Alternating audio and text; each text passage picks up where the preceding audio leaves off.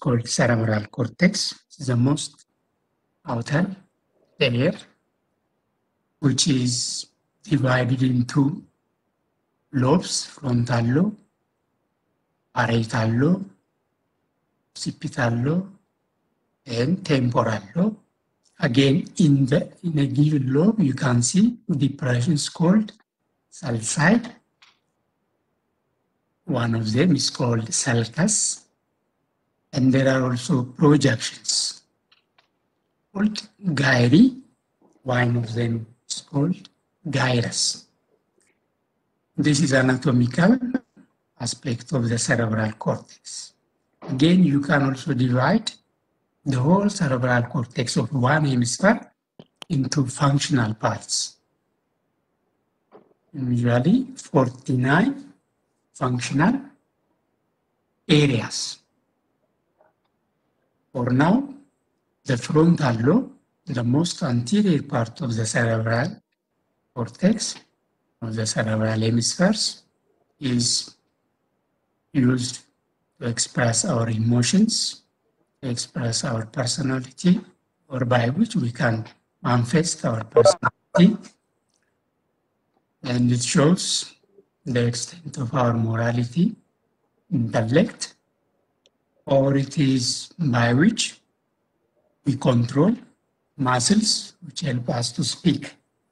So speech, speech, emotions, personality, morality, intellect, all of them are controlled by the most anterior part of the cerebral hemispheres. The parietal lobe is usually for sensory functions like pain, heat, touch. Hearing and smelling in the temporal lobe, hearing and smelling, in the occipital is for vision. So the cerebral cortex of a given hemisphere is the main part of the brain, and in fact, it is the most, mm, the largest part of the brain. To encase this large cerebrum into a small area of the skull, or to decrease its surface area, you have grooves and projections. And for our convenience, we also divide it into lobes. Then you have the cerebellum. The cerebellum is generally for balancing equilibrium, walking, dancing. And the medulla oblongata is for breathing, chewing, taste. It controls the heart, the lungs, the stomach, and blood vessels. The pons for eye, eye reflexes, for the conduct impulse. So the whole brain is functionally divided. That means it has anatomical parts as well as functional areas. Functional areas could be Shall if you look at the cerebrum, it has 49 functional areas. For our convenience, generally, the parietal lobe is sensory, the frontal lobe is motor, and emotion, personality, morality, intellect, and speech. Temporal lobe, hearing and smelling. Occipital lobe, vision. Cerebellum, usually muscle tone means equilibrium, walking, dancing, medulla oblongata, breathing, and so on and so forth. So these are general, and I don't expect I don't expect you to remember each and everything. But you have to know at least some general parts. So the whole brain is protected by bones like the skull the skull in case of the brain, the vertebral column in case of the spinal cord. And also tissues, special tissues called meninges, the hardest, the toughest one, dura mater. Next to that, arachnoid, and the deepest, thinner part, pia mater. These are special tissues which protect the brain as well as the spinal cord. Dura mater, arachnoid, yeah. The exterior one, dura, tough. The most interior one, pia, thinner. Between them, there is arachnoid matter. In addition to this, there is a fluid. The fluid rotates or flows in the ventricles like lateral ventricle, third ventricle, fourth ventricle, and central canal of the spinal cord. So that fluid is called cerebrospinal fluid in the cerebrum and the spinal cord. So this fluid by itself has many functions. One of them is a protective function. In addition to this, there are special areas called blood-brain barrier. The blood flowing between the brain and vessels. There is a blood supply to the brain and the spinal cord. But there is no direct communication between this, the brain and the spinal cord, as well as the blood. What does it mean? It means there is a barrier so that protected. Because blood, brain, this barrier is supported by supporting cells, of the neurons. As we have seen earlier, neurons are the main functional units of the nervous system. Supporting these neurons, there are many types of cells. We call them glial cells. These glial cells form blood-brain barrier directly protecting the brain as well as the spinal cord from infections. Generally, as we have seen earlier, the bones protect the brain. The moment you remove these bones, you don't see the brain. Rather, you will see protective structures like dura mater, pia mater, and arachnoid. In case of the spinal cord, the bones, vertebral column, that means vertebrae. Next to the vertebrae, there is also dura mater, arachnoid, pia mater. Look at it more elaborately. In the case of the brain, you can see hairs, skin. There is a covering a given, like any other bone, periosteum. Then you have bone of the skull. When you remove the bone, the first structure you see is dura mater. Toughest, dura means tough. So the first structure, the first dura mater. This dura mater by itself has two layers outer one, meningeal layer, inner one. Periosteal, meningeal. Again, when you go deep, there is arachnoid matter, this thinner part, relatively compared to the dura arachnoid. Then, adherent to the substance of the brain, adherent to the substance of the brain, there is pia pia matter.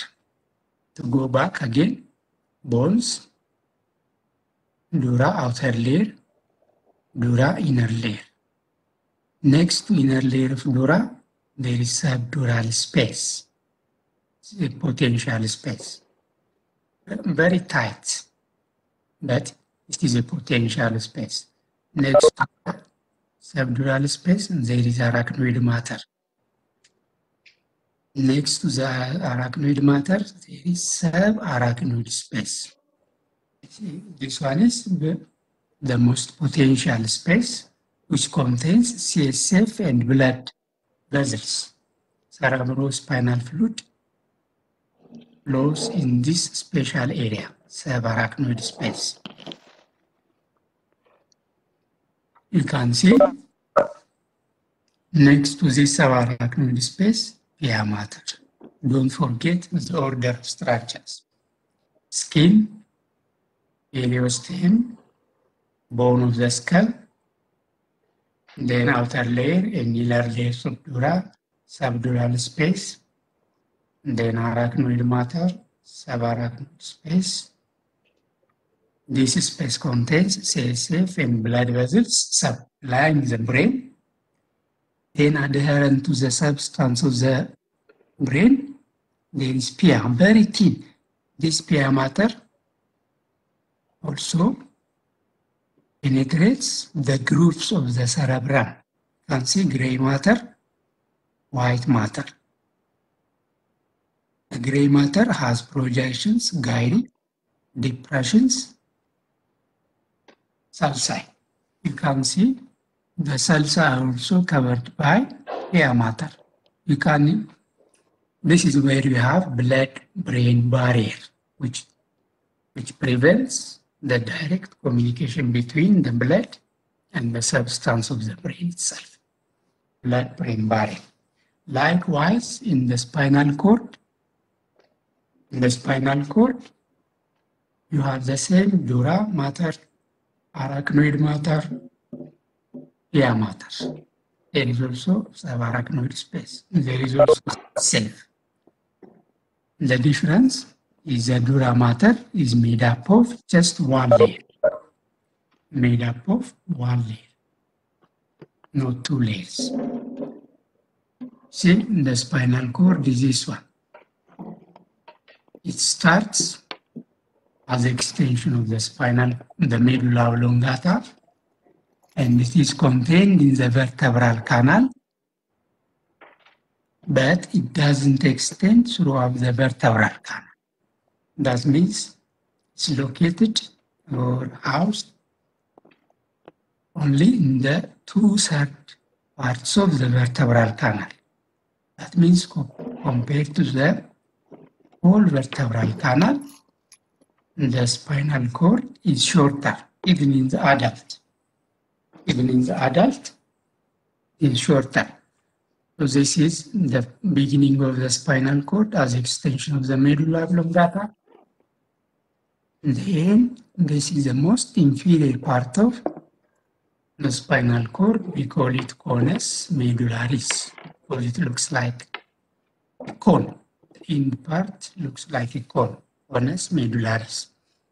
You can see the spinal cord has also enlargements in the neck, cervical enlargement, and in the lumbar, lumbar, lumbar enlargement. What I am trying to tell you is that, like the, s- the brain, the spinal cord is also protected by bones of the vertebral column. Next to the bones, next to the bones, there is there is dura mater, arachnoid mater, and pia mater. Dura mater, arachnoid mater, even subarachnoid space, and pia mater covering the brain. We will see the spinal cord in detail later on. For now, what we are looking at is protective layers or structures of the central nervous system. These are bones, meninges, fluid, CSF, and barriers, blood-brain barrier. So let's look at the spinal cord in cross section. If you look at the spinal cord in cross section, as opposed to the brain, the central part is gray matter. The outer part or the peripheral one is white matter. The cerebrum or the brain, outer part is gray matter the central part is white matter. But exceptionally, the deep inside the white matter, there are nuclei, independent nuclei. But because of that, we don't say the central part is gray and the outer part is white. Rather, say in the brain, the gray matter is peripheral, the white matter is central. But in the spinal cord, the gray matter is central, the white matter is peripheral. When you look at the gray matter, can see the gray matter, you can see mm, it looks, it has H shape arrangement, H shape arrangement. That means extending laterally when you go from the central canal there are horns, dorsal horn, ventral horn, dorsal horn, ventral horn. Sometimes in the thoracic region, you may see lateral horn. For now, what we call gray matter is made up of this. White matter is made up of nerve fibers, that in this case, axons. But these axons could be going to the brain upward or going to the other parts of the spinal cord. That means they connect different parts of the spinal cord or they connect spinal cord the brain. That means the lateral parts of the white matter contains tracts. Tracts. These tracts will be going upward, going superiorly, that means ascending tracts, going inferiorly from the brain toward the spinal cord, descending tracts. So this white matter is full of tracts. When we say tract, contains fibers. When you say fibers, really axons. Then these axons could be divided to ascending and descending tracts.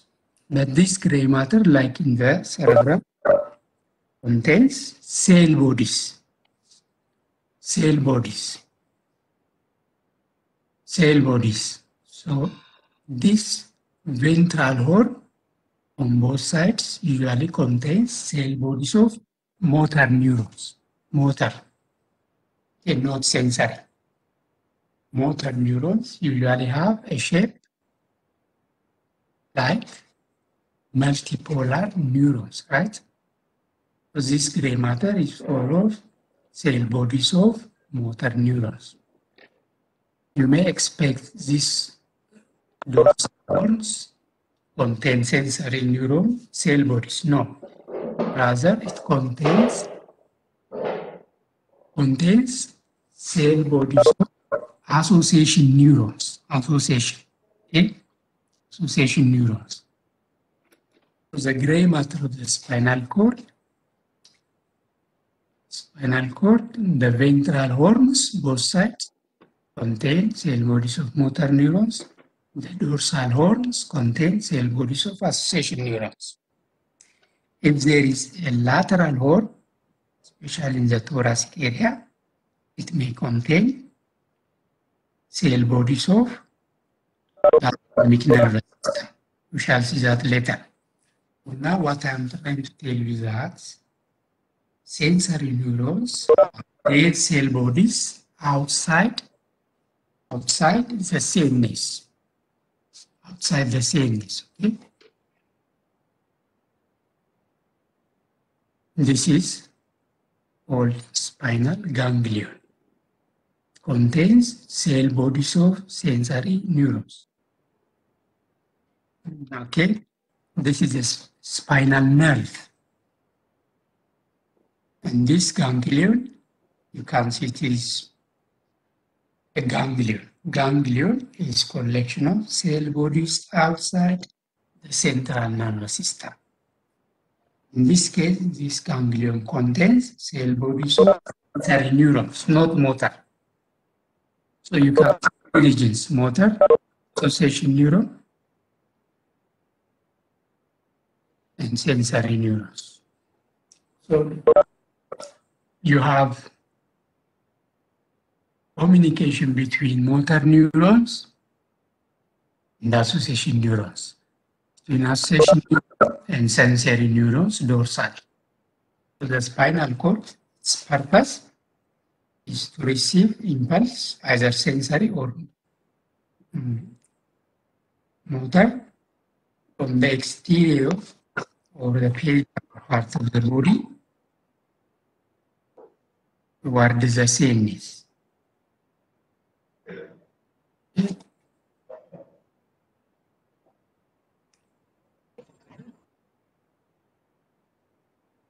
So the spinal cord, the whole extent of the cord by itself is not uniform. Yes? It's not uniform.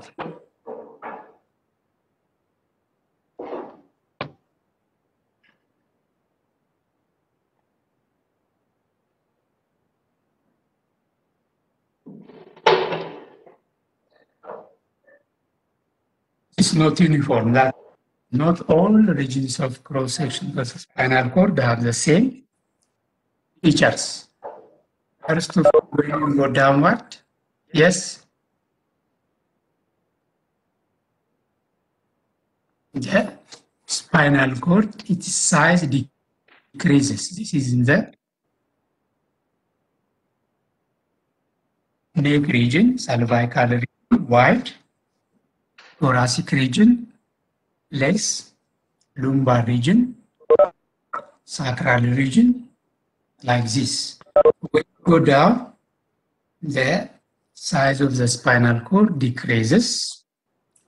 Likewise, when you section it, the cerebral, the cervical region, you can see central canal, dorsal horn, ventral horn. Okay, go down like this. Especially at the level of T8, you may see lateral horn. Okay, exceptional exception to the rule where you can see where you can see lateral horn.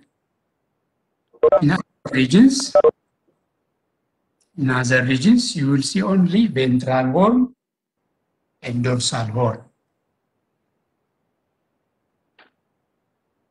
The exception to the rule, at the level of thoracic vertebra, T8, you may see lateral horn of matter, which is composed of part of the autonomic nervous system, okay? part of the nervous system. So don't forget this. When you go downward, the spinal cord decreases in size. That's one. It stops at the level of L1 and L2 in the adult. That's another. Has protective structure and it has also enlargements. Cervical enlargement and lumbar enlargement. Does it mean? You don't have thoracic enlargement and sacral enlargements. If you go back, you can see this is cervical enlargement, lumbar enlargement. You don't see thoracic enlargement. When you go down again, the size means diameter decreases. At the end, looks like a cone. That's why we call it conus medullaris. Conus medullaris. And you have also a lumbar enlargement. I will tell you the purpose of those enlargements later on. So,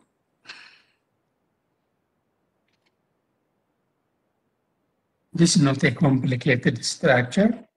This is just to show you, if you look at one segment of the spinal cord, dorsal horns contain sensory neurons, ventral horns contain motor neurons. In this case, this is association neuron, and this is a sensory neuron. Sensory neurons have their cell body outside the CNS, outside, not inside. Because they are, these cell bodies are located outside the cell CNS, they form a collection known as ganglion. Ganglia is plural, ganglion is singular. As I told you earlier, these cell neurons are unipolar. That means their cell bodies do not form synapses. They, they don't communicate with other neurons. Rather, both the dendrites and the axon originate from the cell body via a common stem. That's why they look like a, I mean, they are, they look like unipolar neuron, but they are not unipolar. Rather, they are bipolar. One, another. You can take this one as an axon, this one as dendrite. But then both of them connected to the cell body via a common stem.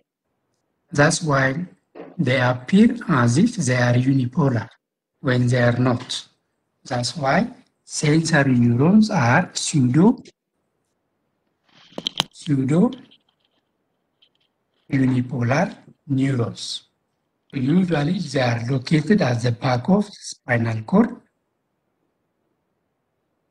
join the dorsal horn via association neurons, and then ventral horns contain motor neurons. As I told you, motor neurons are multipolar. Cell bodies and dendrites are located here, but their axon goes to the periphery of the body and forms a spinal cord, a spinal nerve, I mean. So this is a spinal nerve. A given spinal nerve is a mixed nerve. Mixed nerve because it contains sensory neurons entering the spinal cord and motor neurons leaving the spinal cord. Together, they form a spinal nerve. So these ventral roots and these are dorsal roots. Dorsal and ventral roots join together and form a spinal nerve. And how many spinal nerves do we have? We have 31 pairs. This is one right part of segment, left part.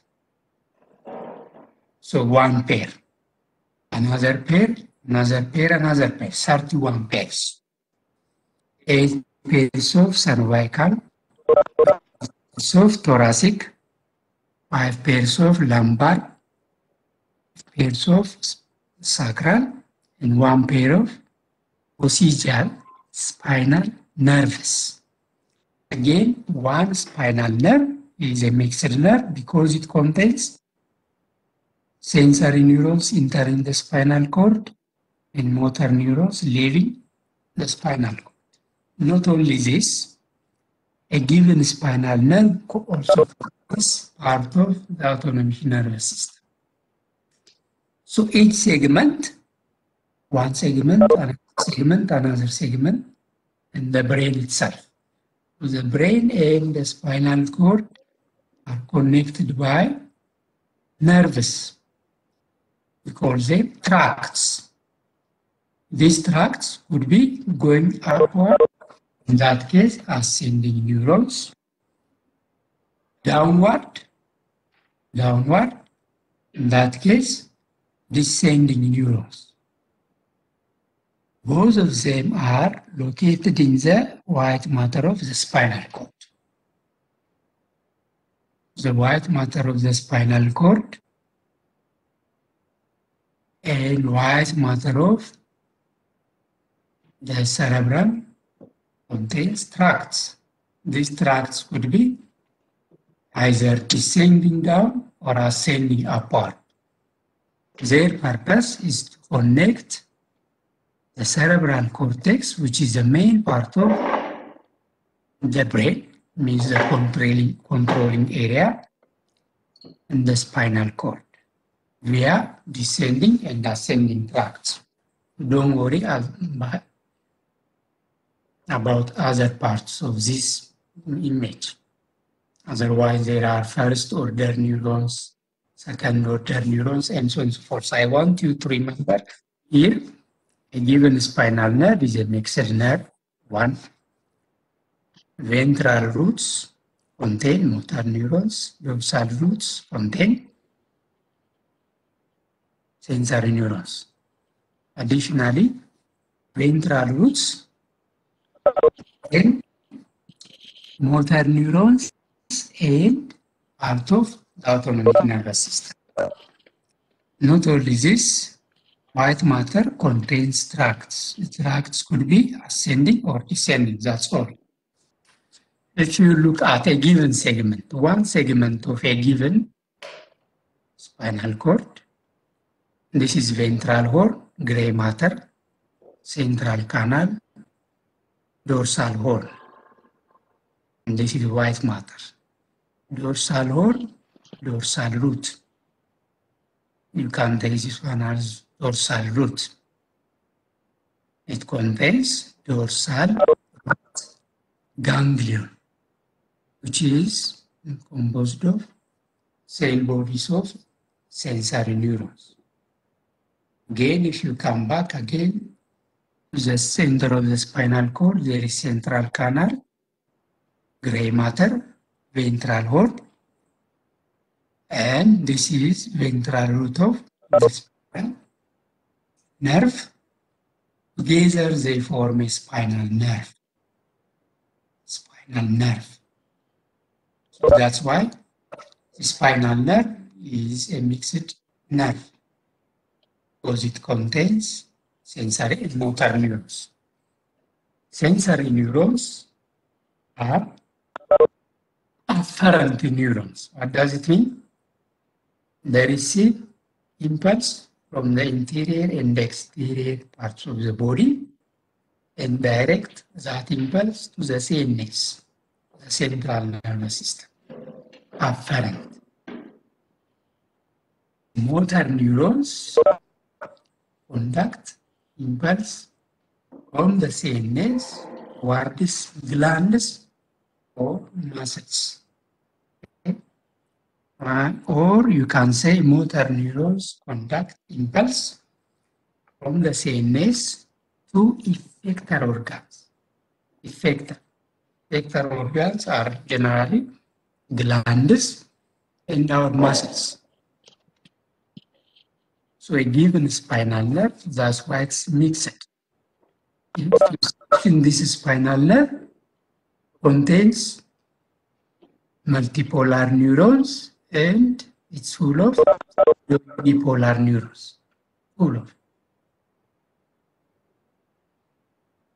But if you section this one, you will see only sensory neurons. If you section this one, motor neurons and part of the autonomic nervous system. Let's look at the other part of the same segment. It's just motor neurons.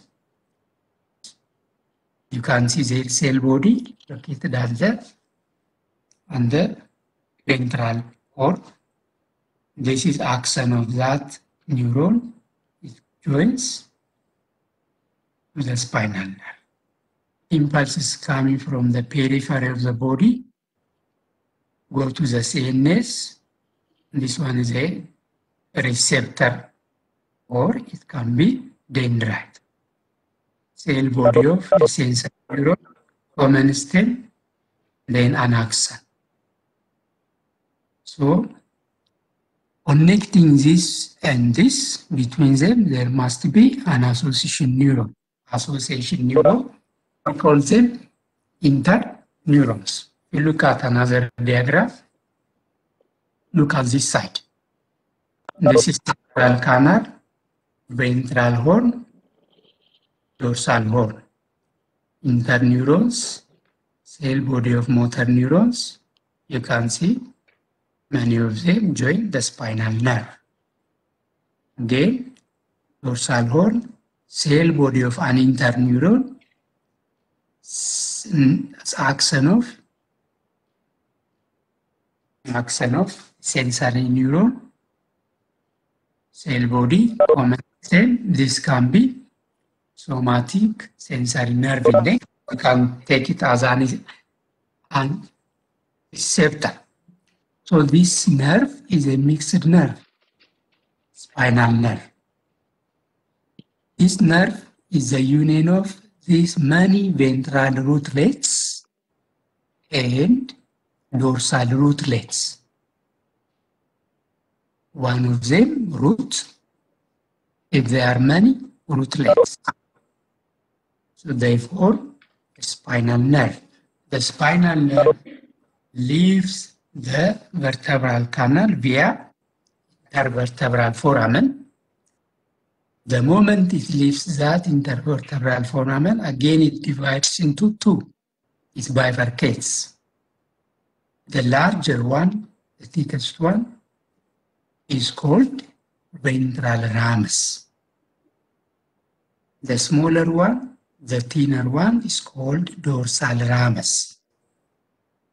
You see, these rootlets sensory, these are motor. They join and form a mixed nerve. This purpose, or the purpose of this one, is to equalize the number of sensory motor neurons. So this ramus contains both motor and sensory neurons. This one also contains both motor and sensory. We don't call this one roots, rather we call them ramus. Ramus looks like a road.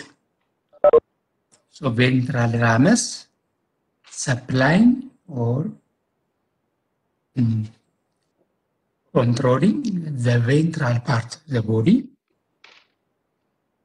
The dorsal ramus controls the smaller dorsal part of the body because this ventral ramus contains the upper limb, the trunk, and lower limb. That's why it is thicker and larger, since it contains many neurons. This dorsal ramus controls back muscles and skin of the back. That's why it is thinner and contains fewer neurons. Round, it means the most anterior part of the body beyond the coronal plane is larger compared to the most posterior part. I will tell you again, the most anterior part beyond coronal plane is larger. What does it mean? It contains many, parts. That's why this is thicker and this one is thinner. This one is the same thing we have seen earlier. Motor neurons, sensory neurons. For example, the skin, receptors, impulse transmission, ganglion, and then from ganglion to the CNS. Connect this one together, not only that, this connect these two neurons to the lateral part of the spinal cord, that means tracts, there are association neurons. Association neurons. By the way, this region, if you look at it microscopically, it has many areas which has different specific parts. That means a given region contains certain types of neurons, either going upward or downward. These neurons are connected to the central part, gray matter, via association neurons. That's all. Again, look at this side.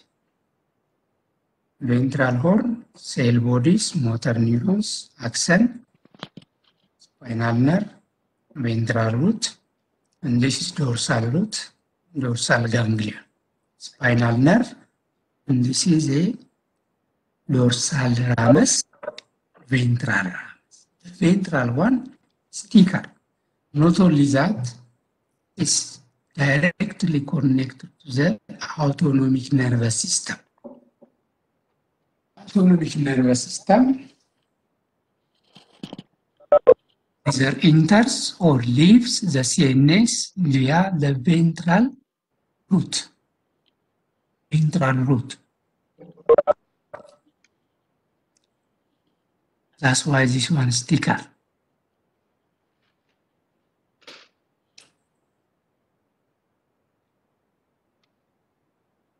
This one is gray ramus, and this one is white ramus.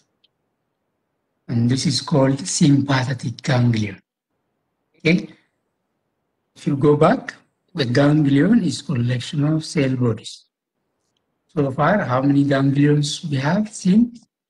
Dorsal root ganglion, made up of sensory neurons. And this is called sympathetic ganglion. It has an ascending part, descending part, one. Also, it has also neurons entering this and leaving this. Not only that, neurons ascending upward and descending up downward. So, this ganglia form a chain chain lateral to the thoracic vertebrae. We call it sympathetic chain. This chain is primarily made up of ganglia, which is in turn made up of cell bodies of the autonomic nervous system. This. Neurons entering this ganglion, leaving this ganglion. This, the living ones may ascend upward, descend downward, or they may go to the interior of the body. Three options. Okay.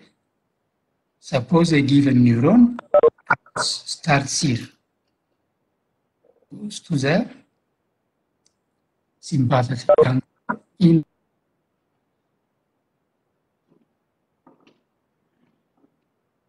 synapses, sorry, synapse. You have another neuron either ascending upward or descending downward, joining this white ramus, joining a spinal nerve, or directly going to a organ or a, a gland or an organ. So, if you go back, these neurons of the autonomic nervous system are preganglionic neurons. And these neurons going upward this way or this way, postganglionic neurons. If you go back again, this spinal nerve contains sensory neurons, motor neurons, as well as part of the autonomic nervous system. As an example, as an example, look, this is a lower limb. Sensory neuron receives sensory impulse from the lower limb. These receptors to cutaneous afferent neurons transmit, transmit impulse to the dorsal part of the body then you have interneurons. association neurons connecting the same neurons with cell body of a motor neuron. So if it's a reflex, reflex, reflex, that impulse must be conducted to a muscle via a motor neuron. Motor neuron. This as both connected to the opposite side of the spinal cord. It's not complicated. It's like this. The right the